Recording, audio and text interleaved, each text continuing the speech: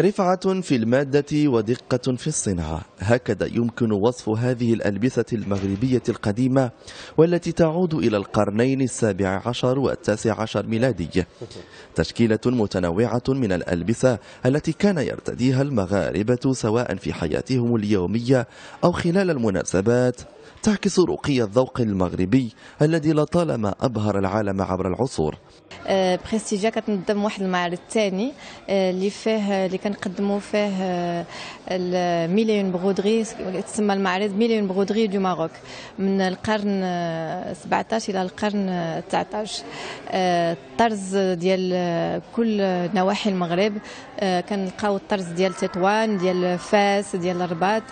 بحال ما كتشوفوا كاين طرز على القفاطن على البلاغي على السكان على المخدات.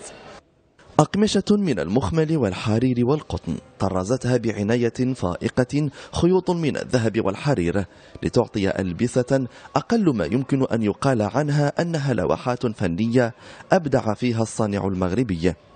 من الرباط سلا تطوان وفاس تم تجميع هذه القطع الفنية التي تعكس تنوع مشارب الهوية المغربية.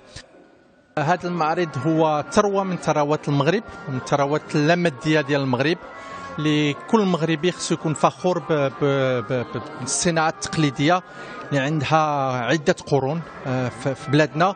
وغادي وكتحسن وكنلاحظ بأنه من من في التاريخ المغرب كان عندنا آه، جودة في هذه الصناعة التقليدية. لطالما عرفت الحضارة المغربية بغناها وتنوع روافدها فهي مزيج من الأندلسي العربي الأمازيغي واليهودي. اللباس المغربي واحد من مقومات هذه الحضارة والذي ما زال محافظا على عراقته وحمولته الثقافية إلى يومنا هذا.